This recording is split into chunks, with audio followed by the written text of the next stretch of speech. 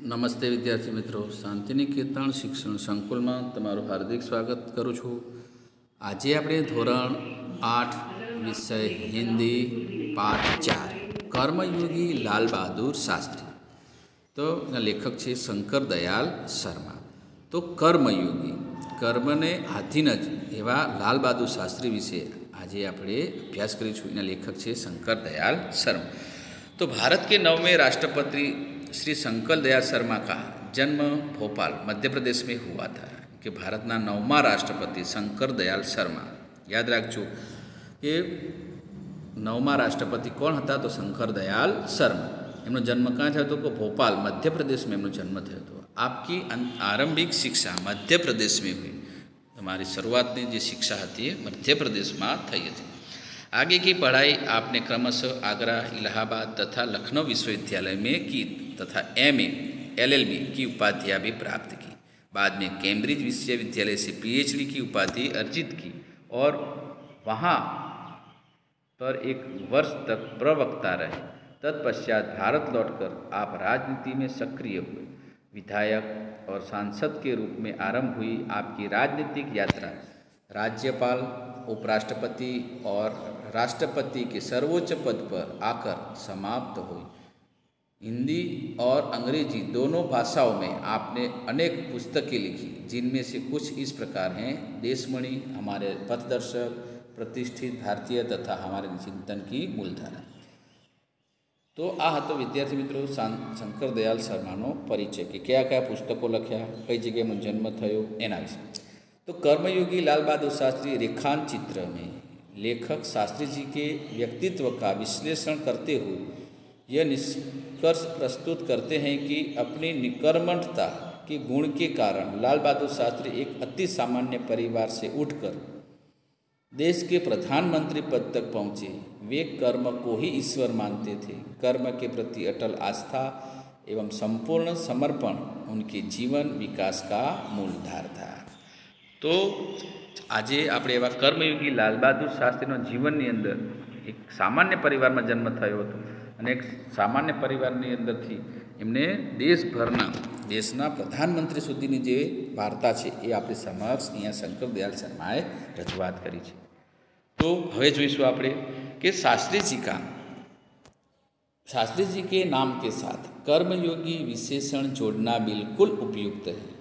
શાસ્ત્રીજીની સાથે એમ કે કર્મ યોગી આપણે જે કામને કામ મહત્ત્વ આપવું એને કર્મયોગી કહેવાય એ વિશેષણ મતલબ કે વિશેષ विशेषण मतलब कि विशेषता दर्शावतो वाक्य है कर्मयुग जोड़ना बिल्कुल उपयुक्त है क्योंकि मुझे तो उनका सारा जीवन ही कर्म से भरा हुआ मालूम पड़ता है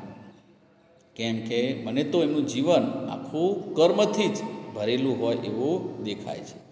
शास्त्री जी की शास्त्री जी सामान्य परिवार से ऊपर उठकर देश के प्रधानमंत्री के जिस महत्वपूर्ण पद तक पहुँचे, उसका रहस्य उनके जीव कर्मयोगी होने में ही छिपा हुआ है। इनके एक शास्त्री जी एक सामान्य परिवार में थी। मोटा थी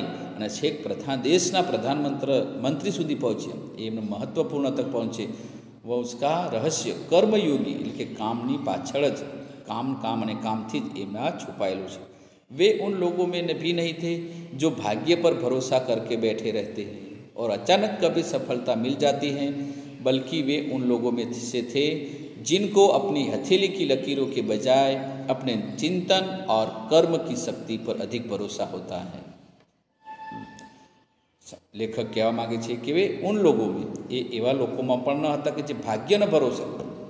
અમુક માણસો ભાગ્ય નસીબને આધીન બેસી રહેતા હોય છે કે નસીબમાં જે થશે એ સારું પણ અને એક અચાનક कोई दिवस सफलता मिली बल्कि वे उन लोगों में से थे जिनकी अपनी हथेली की लकीरों के बजाय अमुक लोग को पोताना नसीब ने आथिन बेसी रहता हो माना न था शंख लाल बहादुर शास्त्री। वे अपने हथेलो, हथेली की लकीरों, हथेली जो रेखाओं से चिंतन करा अपना रास्ता बनाते हुए आगे बढ़ जाते हैं।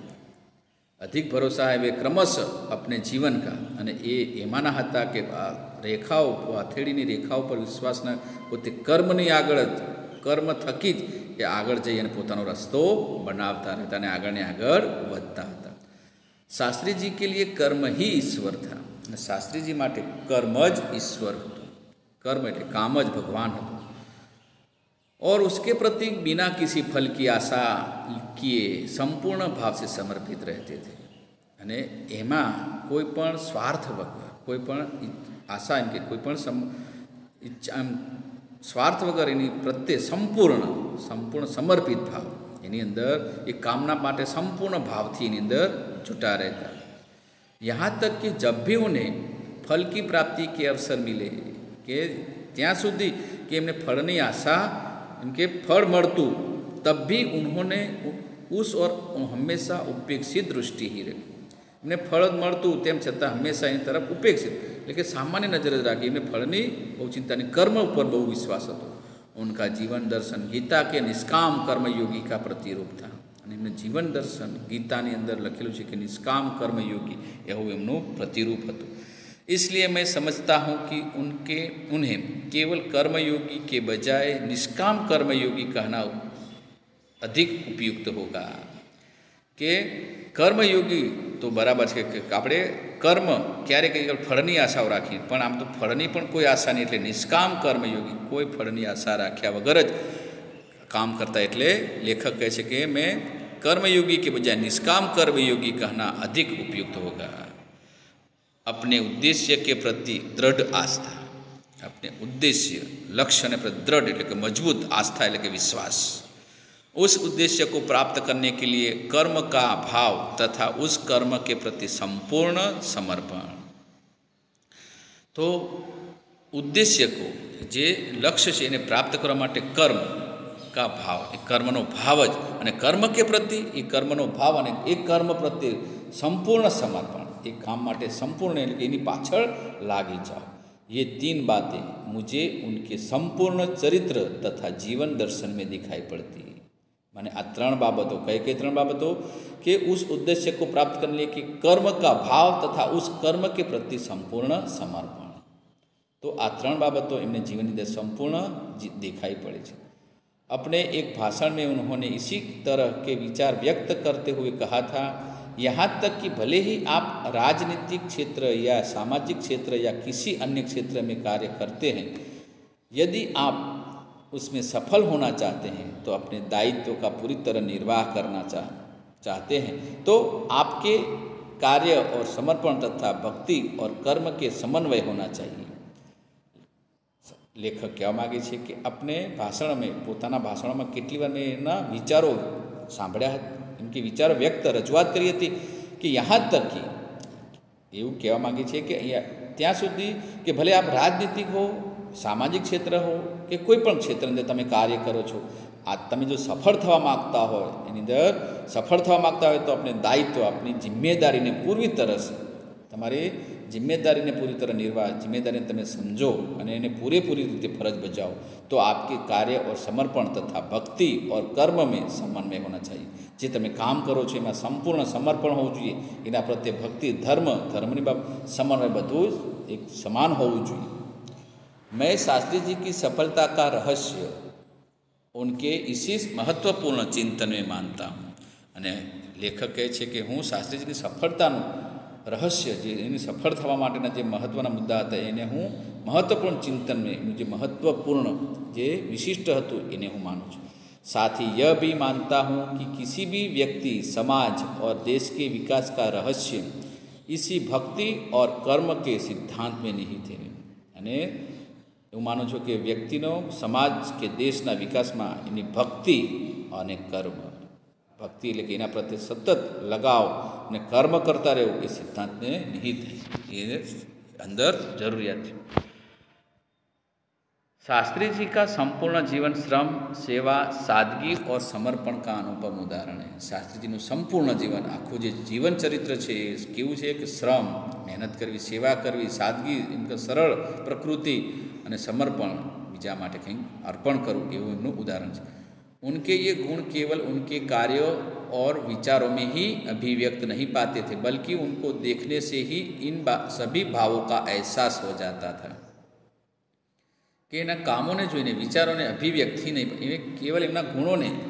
અને કાર્યોને વિચારોમાં નહીં પણ એમના જીવનની અંદર પણ ઉતારતા અને અહેસાસ હો જાતા કે એમનું જીવન કેવું હતું ઉનકે अपने વ્યક્તિત્વ में વિચારો કા અનોખા સમન્વય था એમને પોતાના જીવનની વ્યક્તિત્વની અંદર વિચારોનો અનોખો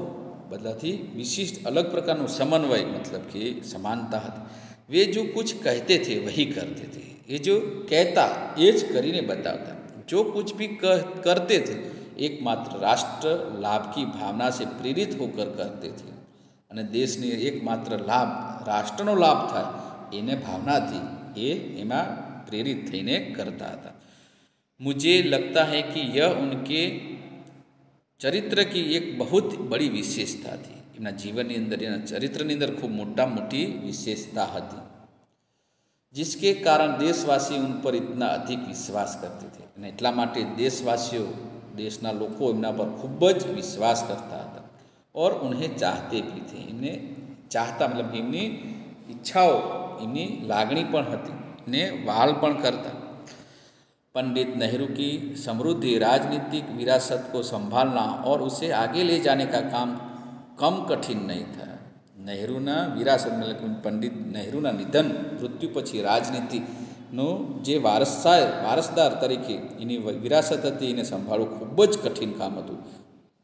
लेकिन देश ने उस समय यह साफ साफ देखा कि उससे संभालने की ताकत शास्त्री जी में ही है और शास्त्री जी ने अपने निर्मल चरित्र और दृढ़ संकल्प शक्ति द्वारा देश की इस आकांक्षा को पूरा किया